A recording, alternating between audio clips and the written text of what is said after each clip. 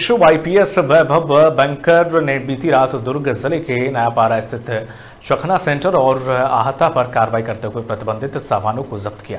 Police लगातार अभियान चलाकर शहर में स्थित चखना सेंटर और आहता पर कार्रवाई कर रही है। पुलिस ने बड़ी संख्या में प्रतिबंधित मादक पाउच और ग्लास को जब्त किया है। पुलिस ने बताया कि एक्साइज एक्ट के तहत कार्रवाई की गई है और आगे भी लगातार कार्रवाई जारी रहेगी।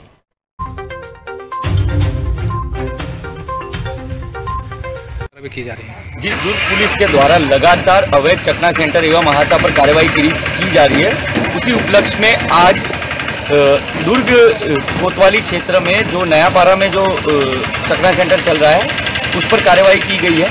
यहाँ से भारी मात्रा में जो प्रतिबंधित पाउच एवं ग्लासेस और खाने पीने का जो सामान होता है उसको बरामद किया गया है और आगे एक्साइज एक्ट के अंदर कार्रवाई की जा रही है।